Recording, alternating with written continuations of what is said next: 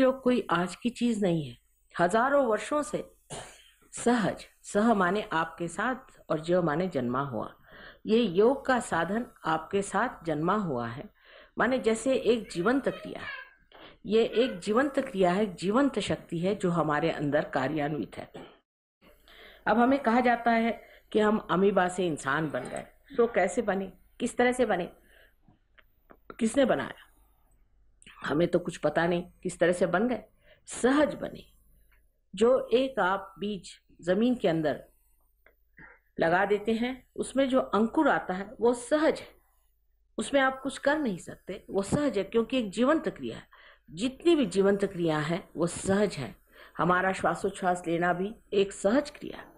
अगर हमें श्वासोच्छ्वास लेने के लिए किताबें पढ़नी पड़े और या तो किसी से सीखना पड़े तो न जाने कितने लोग जी सकेंगे।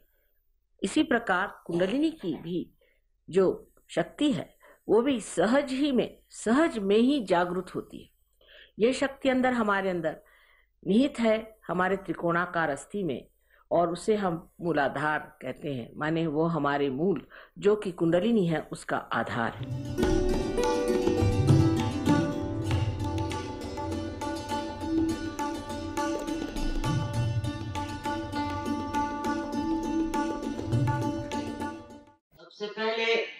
ये जान लेना चाहिए कि सत्य है, वो अपनी जगह है। उसको हम बदल नहीं सकते, उसका हम वर्णन नहीं कर सकते। वो अपने जगह स्थिर है। बस हमें यही करना है कि हम उस सत्य सृष्टि को प्राप्त करें। परमात्मा ने हमारे अंदर ही सारी व्यवस्था की हुई है। इस सत्य को जानना अत्यावश्यक। आज मनुष्य आप देख रहे हैं कि भ्रमित इस कलि युग में बहका चला जा रहा है। उसको समझ में नहीं आता कि पुराने मूल्य क्या हो गए और कहाँ से कहाँ हम पहुँच गए। और आगे का हमारा भविष्य क्या? जब वो सोचने लगता है कि हमारे भविष्य का क्या है, क्या उसका इंतज़ाम है, हमारे बच्चों के लिए कौन सी व्यवस्था है? तब वो ये जान लेता है कि जो आज की व्यवस्था है जो आज तक मनुष्य जिस स्थिति में पहुँचा है, वो स्थिति संपूर्ण स्थिति नहीं, क्योंकि वो एक में वो सत्य को नहीं जानता, केवल सत्य को नहीं जानता। हर एक अपने मस्तिष्क से जो समझ में आता है, उसे सत्य मान लेता है। दो प्रकार के विचार है। एक तो विचार यह है कि हम अपने मस्तिष्क से जो मान लें जिस चीज़ को हम ठीक समझ लें उसी को हम मान लेकिन बुद्धि से सोची हुई, बुद्धि पूरे सब चीज़ सीमित है। कोई सोचता है ये अच्छा है तो कोई सोचता है वो अच्छा है। और ये लेकर के सब आपस में झगड़ा कर दूसरों की बात सुनने से पहले अपनी बात कहते हैं और इसी प्रकार पूरी समय कश्मकश चल रही है। अब रही बात उन लोगों की कि जो कोई ना कोई बात को अंधता पूर्वक मान गए, ये सोच के कि भाई, अब कोई इलाज ही नहीं है तो चलो यही कर वो भी अंधता पूर्वक मानी हुई बातें भी किसी काम की नहीं, ये ज्ञात हो जाता है। फिर वो भी मुड़ता है उस और कि सत्य क्या है भाई? हमने तो इतनी देर तक ये ये काम किया और हमें कुछ लाभ नहीं हुआ। तो कोई सत्य नाम की चीज़ है या नहीं? यही साधक, यही असली साधक है, जो समझ गया है कि इस बुद्धि पुरस्सर जो हमने न्याय दिए, जो हमने अपने अंदर विचार कायम किए थे, वो गलत गलत साबित हुए, उससे हमें कोई फ़ायदा नहीं और दूसरा, जो कि सोचता है कितने सालों तक हमने आँखें बाँध करके जो जो काम किए वो काम भी कोई लाभदायक है। अब सत्य क्या है? हालाँकि मैं जो आपको बताऊँ, उसे आप आपको फिर से अंधों जैसे मान नहीं लेना चाहिए। क्योंकि वही हालत हो जाएगी, जैसे और लोग कुछ कहते हैं, उसको आप मान लेते हैं। किंतु अगर इसकी प्रचिति आ जाए, इसका अनुभव आ जाए, तब अगर आप नहीं माने तो इसका मतलब यह है कि आपने अपने साथ में ईमानदारी नहीं रखी। क्योंकि इसी में आपका लाभ है। इसी से आप अपने घर गृहस्थी का और अपने समाज का, अपने देश का और सारे संसार का हित साध्य कर सकते एक व्यक्ति में ये चीज़ मिलेगी। एक इंसान में ये चीज़ मिलेगी और फिर वो व्यष्टि माने सामूहिकता में फैल जाएगी हमें सुन के बड़ी खुशी हुई कि यूपी में बहुत सारे गाँव से एक एक इंसान आया और वो सहज योग की जोत वहाँ मैं यहाँ की बहू हूँ, मैं यहाँ शादी होकर दुल्हन बन के आई थी। और मैं सोच भी नहीं सकती कि इस यूपी में सहज में इतने लोग आ जाएँगे। मुझे तो बहुत ही आश्चर्य हो रहा था कि कैसे हो सकता है। यहाँ तो लोग इतने अंधश्रद्धा से पीड़ित हैं और कुछ लोग इतने मकरूर हैं कि इसके बीच की ये जो चीज़ है, सहज इसे कैसे प्राप्त और आज सबको देख करके बड़ा ही आनंद हो रहा है। न जाने कैसे आप लोग इस स्थिति में आए कि आप सहज को प्राप्त करें। मैं सोचती हूँ पूर्व जन्म के आपके बड़े पुण्य कर्म बहुत पुण्य कर्म से ही ये चीज़ प्राप्त होती ये तो बड़ी पुरानी किताब मुनि ने लिखी थी नाड़ी ग्रंथ, उसमें उन्होंने लिखा कि जो लोग आज गिरिकंदरों में परमेश्वर को खोज रहे हैं, उसे प्राप्त करेंगे कलयुग में। और कलयुग में जब उसे प्राप्त करेंगे, तब वो गृहस्थी में बैठे। वही बात आज सिद्ध हो रही है कि ये आपके पूर्व जन्म के सारे जो कुछ भी महान पुण्य थे वो आज फलित हुए हैं। नहीं तो मेरे बस की बात नहीं थी जिस तरह से आप लोग यहाँ एकत्रित हुए मैं देख करके बहुत आश्चर्य अब रही बात ये कि सत्य क्या है, इसे मैं आपसे बता सत्य है कि आपके शरीर, बुद्धि, मन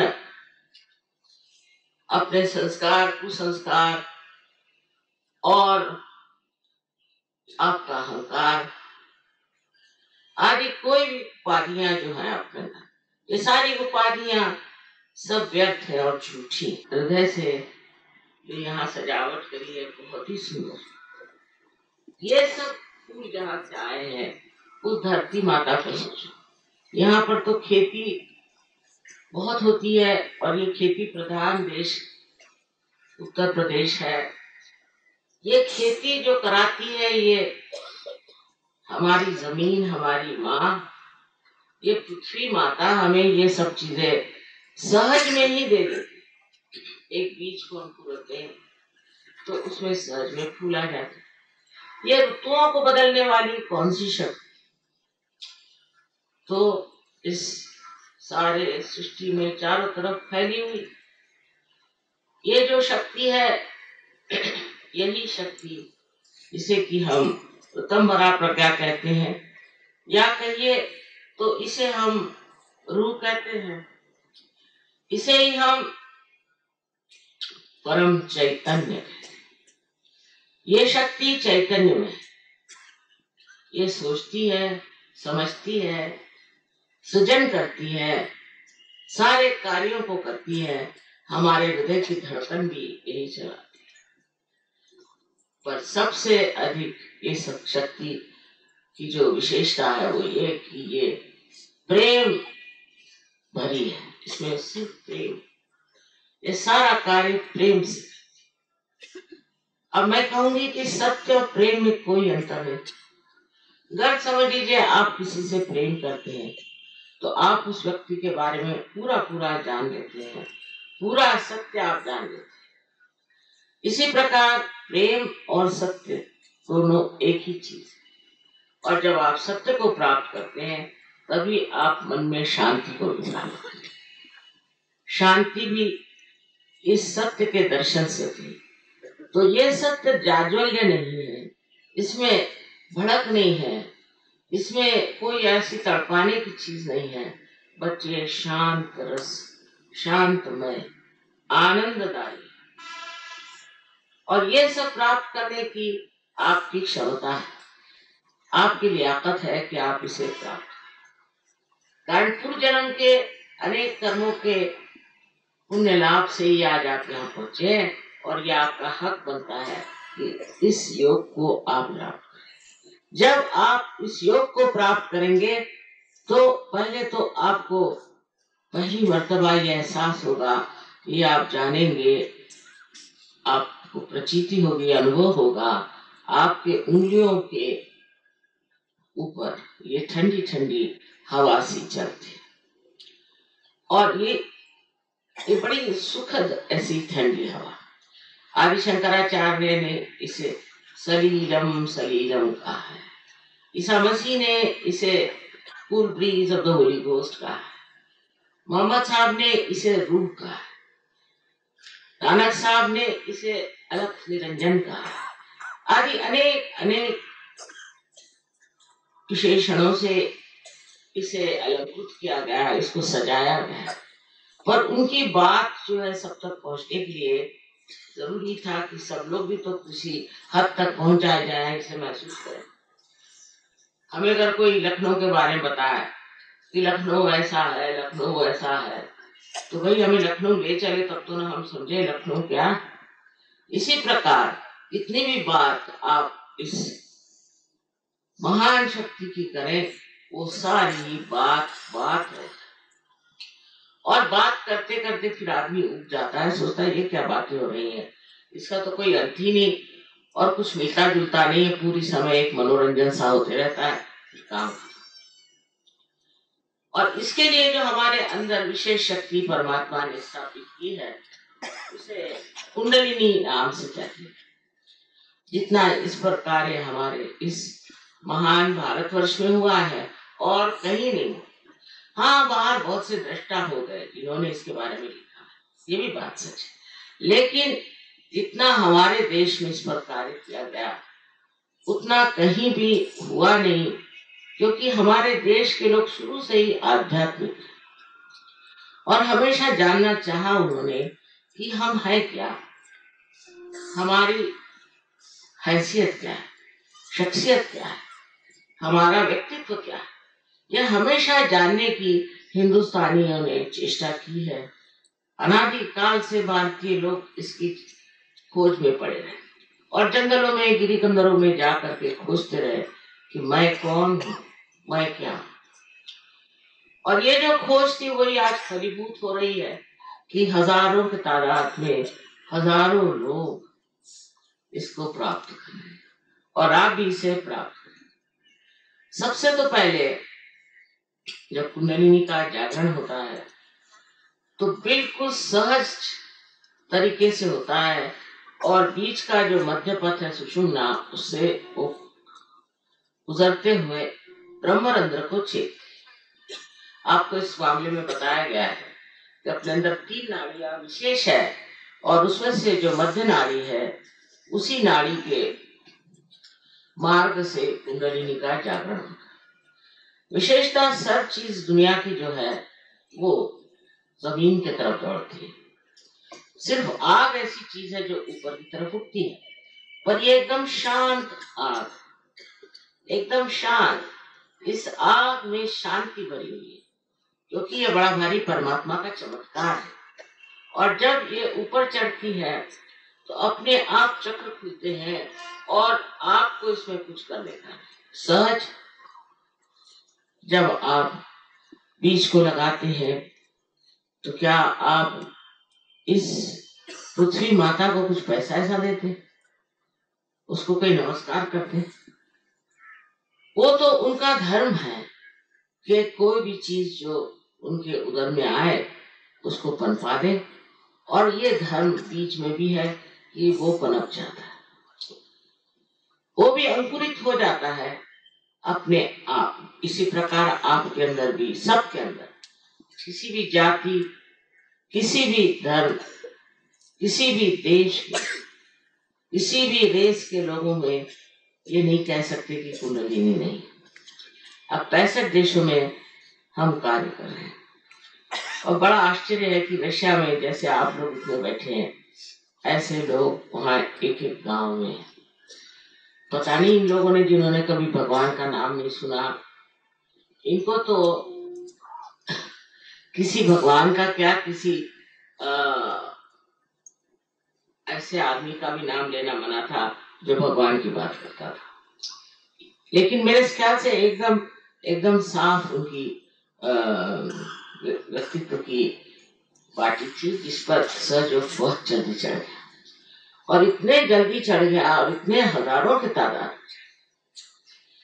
और आप लोगों की तरफ़ देख के मुझे इसलिए आश्चर्य होता है कि मैं देखती थी, पहले यहाँ पर लोग, उनको मज़ा किस चीज़ में आता है। और बड़े हैरानी की बात है कि वो सब जिसमें इनको मज़ा आता छोड़ छाड़ के अब सहज में शुरू करा और वो जो मज़ा आने की चीज़ें थी, वो सब वो सब स्वयं को नष्ट करने वाली आज अमेरिका में भी यही हाल। कि वो लोग कहते हैं कि हम तो चाहते क्षण क्षण हम आनंद में और क्षण क्षण में आप अपने को मिटाने की व्यवस्था करें। तो कौन सा आनंद आएगा? आप तो मृत्यु की ओर जा रहे हैं। सर्वनाश की ओर जा रहे हैं तो आपको आनंद कैसे आ सकता लेकिन उनकी खोपड़ी में बात जाती नहीं आपसे बताऊ। हम लोग हालाँकि बहुत सीधे साधे हैं, गरीब भी हैं, लेकिन मेरे ख्याल से हमारे अंदर सुबुद्धि उन लोगों से बहुत ज़्यादा वो तो मूढ़ लोग उनकी समझ में नहीं आती। जब तक मुझसे कहते थे कि आप हमसे पैसा नहीं लेंगे, हम आप पर विश्वास ही नहीं कर सकते। ऐसे बेवकूफ़ लोगों से कौन बात करे? पर अब थोड़ा थोड़ा वहाँ मामला बैठ रहा है। इन लोगों से कुछ सीखने का है नहीं। हमारा जो अपना स्वयं का हमारा जो कल्चर है, जो संस्कृति है, वो इतनी ऊँची है कि सहज में आने के बाद आप धीरे धीरे समझ लेंगे कि ऐसी संस्कृति है ये कि जिसमें सिवाय मनुष्य, परमात्मा की ओर उठे और इस योग में बढ़े और कुछ हो ही नहीं सकता। ये नहीं है कि कोई आप चीज़ छोड़िए। और जंगल में जाकर बैठिए, संन्यास लीजिए या भूखे मरिए। इस तरह की बेकार चीज़ सहयोग में कोई ज़रूरत नहीं क्योंकि ये बाह्य में सब भूखे मरने की, बहुत से लोग भूखे मरते रहते हैं यहाँ पर। और एक बार नारद मुनि ने पूछा भगवान से कि हिंदुस्तान के लोग इतने भूखे क्यों रहते हैं? तो उनका वो लोग इतना भूखे रहने की उनको आदत हो गई है और वो इतने बार भूखे रहते हैं तो उनको भूखे रहते हैं। तो ये जो है उपवास, तपास, आदि आदि, तपस्या करने का जो गुण है, वो हो गया। वो समय बीत गया। उसकी अब ज़रूरत नहीं। अब जैसे कि आप एक सीढ़ी से चढ़ के दालान में पहुँचे हैं तो आइए, तशरीफ़ लाइए, अंदर बैठिए। बजाय इसके कि आप सीढ़ी पे अटक के बैठे हुए आप ऊपर चढ़ना ही नहीं चाहते। इसी प्रकार एक तरह से ये भी समझ लेना चाहिए कि ये समय आ गया विशेष समय। इसको तो मैं कहती वसंत ऋतु आ गई ब्लॉसम टाइम आ गया। और इस समय में हज़ारों लोग पार होने वाले हज़ारों क्या करोड़ों के ये लोग पार होने वाले हैं और जिनको ये मिलना है, उनको मिलना ही है। कोई इसे रोक नहीं सकता। इस बात को अगर मैं आपसे कह रही हूँ तो वो इसलिए नहीं कि मैं सोचती हूँ कि ऐसी बड़ी भारी घोषणा है। ये बिल्कुल सत्य है ये चीज़ आज इतनी घटित हो रही है इतने देशों में जो एकदम ज़ोर में फलीभूत हो रही है, इसके पीछे में कोई ना कोई समय की भी विशेषता और ये समय एक घोर कलयुग में ऐसा आया हुआ है, जहाँ मनुष्य चाहता है कि सत्य को प्राप्त अब सत्य के प्रकाश में क्या क्या हो सकता है? पहले तो सत्य के प्रकाश में जो असत्य है, उसे आदमी एकदम सहज में छोड़ एकदम सहज। जैसे कि एक सांप है आपके हाथ में। रात अंधेरी और आपको दिखाई नहीं दे रहा और आप जिद्दी हैं और कोई कहे कि भाई तुम्हारे हाथ में सांप है, इसे छोड़ दो। तो आप कहेंगे कि नहीं नहीं, सांप नहीं, ये तो रस्सी है, इसे मैं नहीं छोड़ सकता और आप पकड़े ही रहेंगे उसको और जरा सा भी प्रकाश आ जाए तो फ़ौरन छोड़ देंगे। तो ये समर्थता आपके अंदर है, सिर्फ़ ये एक तरह का अंधापन है। बहुत से लोग हज़ारों लोगों ने मुझे देखा प्रदेश में कि ऐसी ऐसी चीज़ें जिसे कि हम विषैली जहरीली कहते हैं, खाना एक हर तरह की जो चीज़ें हमको नष्ट कर रही है, वो सब छोड़। बहुत से लोग चाहते भी हैं नष्ट करें, उसको खत्म करें, लेकिन नहीं खत्म कर पाते। वजह यह है कि उनके अंदर वो समर्थता नहीं। समर्थ का मतलब है आप जो है वो आपका अर्थ बनाया जाए। यानी ये कि अगर आप आत्मा बन जाए तो अपने आप ये सब चीज़ें छोड़ के भाग जाए। अब आपके बच्चों को देखिए, बहुत शिकायतें मेरे पास आई कि बच्चे भी कर रहे हैं ये हो रहे हैं। एक बार समझ में ले आई एक साहब है, उनका लड़का पढ़ता लिखता नहीं था। तो मेरे पास आया मैंने कहा, जागृति करो उनको, बस देखो तो फिर। और वो फ़र्स्ट आया सबके बीच ये होता है, ये साक्षात उसकी वजह ये कि हम अपने मस्तिष्क के कितने हिस्से में काम कर सकते हैं, बहुत थोड़े से। और कुंडलिनी के जागरण से जो प्रकाश हमारे मस्तिष्क में फैलता है, उससे हम असाधारण बुद्धिमान हो जाते दूसरे हमारा चित्त जो है, वो अत्यंत शुद्ध हो जाता है। तो ऐसे कि जो चित्त बार बार इधर, उधर उधर उधर दौड़ते रहता था, वो एकदम शांत होके एकाग्र हो जाता है। इसलिए कोई सा भी कार्य हम बहुत अच्छे से किसी भी कार्य में हम प्रवीण हो सकते हैं। इस देश में तो खेती बहुत है। हमने खेती पर प्रयोग करके देखे कि जो हाथ में चैतन्य की लहरियाँ हैं, इससे अगर कोई पानी को आप चेतित कर दे तो वो पानी जो है, उससे दस गुना फ़सल अच्छी आती और हाइब्रिड सीड की ने जितनी आती है, उससे कहीं अधिक नॉन हाइब्रिड सीड की आती नॉन हाइब्रिड सीड कर आप लीजिए और वो लगाइए। कोई खाद डालने की ज़रूरत नहीं, कुछ नहीं। आप देखिएगा कि हमने सूरज का फूल इतना बड़ा, एक दो फुट का डायमीटर का सूरज का फूल निकला। बहुत से निकले उसको उठाना मुश्किल। एक आदमी उसको उठा नहीं सकता। बहुतों ने कहा कि यहाँ ट्यूलिप्स हो ही नहीं सकते। हमने तो ऐसा देखा नहीं। हमारे जो खेत है, उसमें हर तरह की चीज़ हो रही है। और हमने ऐसे देखा नहीं कि ये चीज़ हो नहीं सकती, वो चीज़ नहीं हो सकती। लेकिन बड़े पैमाने पर और बहुत अच्छी, बहुत ही अच्छी जिसकी क्वालिटी है, ऐसी चीज़ें होती हैं और ये हमारा देश पूरा ही कृषि प्रधान है। इसके लिए बहुत ही ये फ़ायदे की चीज़ है। जो लोग सहयोग में आ गए हैं, उनकी खेती बाड़ी, उनके घर के जानवर, उनके घर के सारे प्रश्न उनके समाज के सारे प्रश्न एकदम से हल आज हम उस कगार पर खड़े हैं कि अगर आप मुड़ करके देखेंगे नहीं तो खाई में आप लोग गिर जाए ये हमें मालूम अब जब ये अपने को मालूम है, तब थोड़ा सा मुड़ करके इसे स्वीकार करना चाहिए। इससे आपको कोई पैसा नहीं देने का। आप इस ज़मीन को कितना पैसा देते जो आपको फल फूल दे रही है, इसी प्रकार इसके लिए आपको कोई पैसा नहीं देने का। आपको कोई खर्चा नहीं करने का, कहीं कोई आडम्बर नहीं, कोई भूखा नहीं, कुछ नहीं। बस इसके थोड़े से ज्ञान को प्राप्त कर लेना चाहिए कि हमारे चक्र क्या है और इस चक्रों में कौन सी हानि है और कौन सी खराबी। जब आपको ये चीज़ प्राप्त होगी तो आप देखेंगे कि आपके हाथ में ठंडी ठंडी हवा से आने लगती और ये उंगलियों के आखिरी हिस्से में ये सब कहते हैं कि सिंपथेटिक नर्वस सिस्टम है। तो यहाँ आपको महसूस हो इस पर आपको महसूस होगा कि आपके कौन से चक्र पकड़े हैं? पाँच छ और सात। ये चक्र जो है, हमारे राइट साइड के हैं और इसी प्रकार लेफ़्ट के हैं। और जो हमारी राइट साइड है, वो हमारी कार्य प्रणाली से बनती है या बनाती है।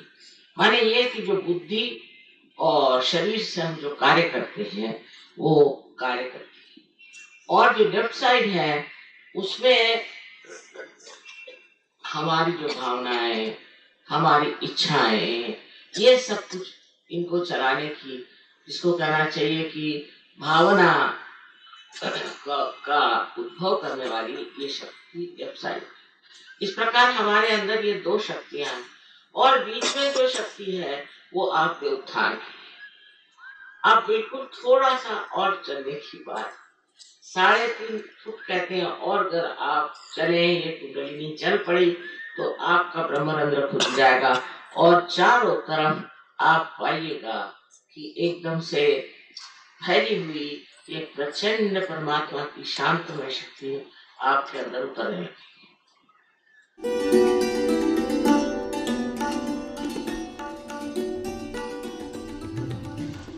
हिंदुस्तानियों को पार कराना बहुत आसान क्योंकि पूर्व जन्म के आप बहुत बड़े कोई लोग रहेंगे, तभी इस पुण्य भूमि में आपका जन्म हुआ इसमें कोई शक?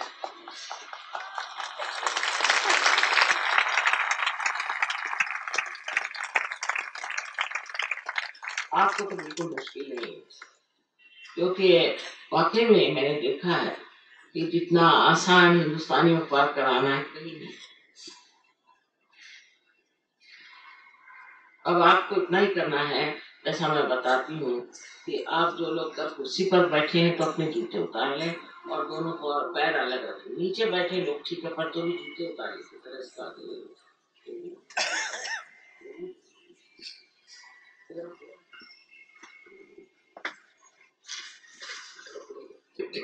अब अपना राइट हैंड मेजर करें मैं इसलिए राइट और लेफ़्ट कहती हूँ कि अपने देश में इसको अलग अलग नाम है, इसलिए मैं राइट तो चश्मा भी उतार। राइट हैंड मेजर करें और लेफ़्ट हैंड जो है, वो अपने तालू के ऊपर, तालू जहाँ के, जब हम बच्चे थे तो यहाँ की जो स्निग्ध हड्डी थी, जिसे कि फॉन्टेनेल बोन एरिया कहते उस तालू के ऊपर आधार के ऊपर में आप लेफ़्ट हैंड रखें, राइट हैंड मेरे तरफ़ और सर को झुका दें।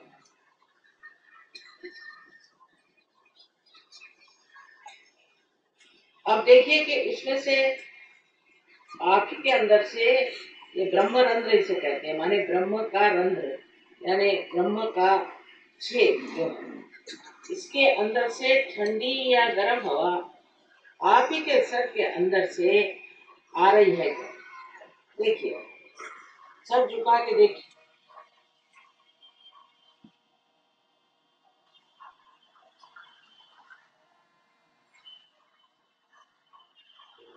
आपने अपने को माफ़ नहीं किया।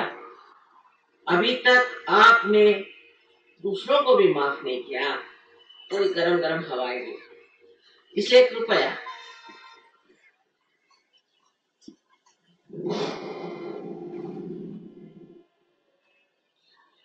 अब फिर से लेफ़्ट हैंड मेरी ओर करें और राइट हैंड से देखिए। सर, झुका के देखिए कि ठंडी या गर्म हवा आ रही है क्या सर में से।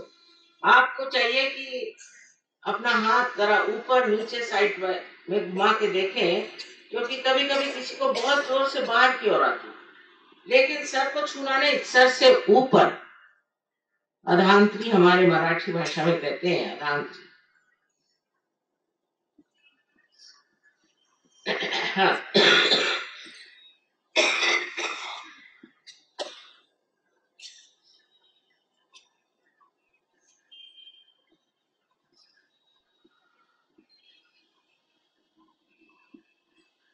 अब फिर से राइट है हमारे और करिए सर, झुका के, और देखिए ठंडी या गर्म हवा तो नहीं आ रही। बाहर से नहीं आ रही, अंदर से, आपके ही अंदर से आ रही अगर आप माफ़ कर दें, अपने को और दूसरों को तो ठंडी आने लग जाए बहुत ठंडी नहीं आती है।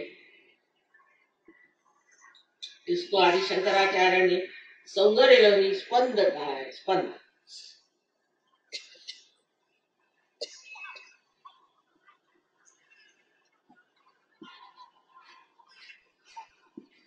अब दोनों हाथ आकाश की ओर उठा के और सर पीछे झुका के पूछिए कि माँ, ये क्या परम चैतन्य है? तीन बार पूछिए। क्या माँ, यही वो परम चैतन्य है? और मुसलमान होंगे, पूछिए, रूह है? ईसाई होंगे तो पूछिए कि यही होली गोस्ट की फुल ब्रीज है? तीन बार पूछिए। ये परमात्मा की प्रेम की शर्त है।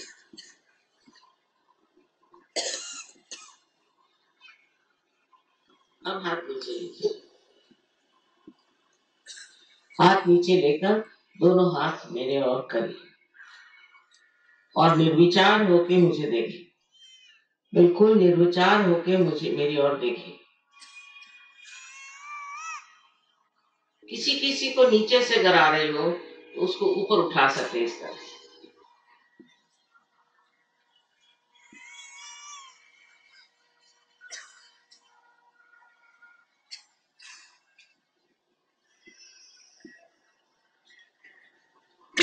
अब जिन जिन लोगों के उंगलियों में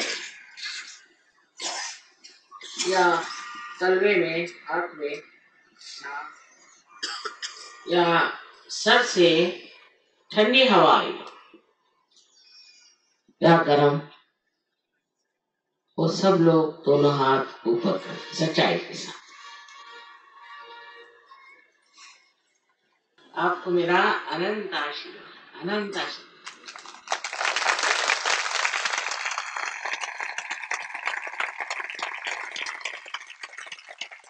से एक बार आप ऊपर करें। सबको नहीं देख पाएँगे। वाह वाह वाह, क्या करेंगे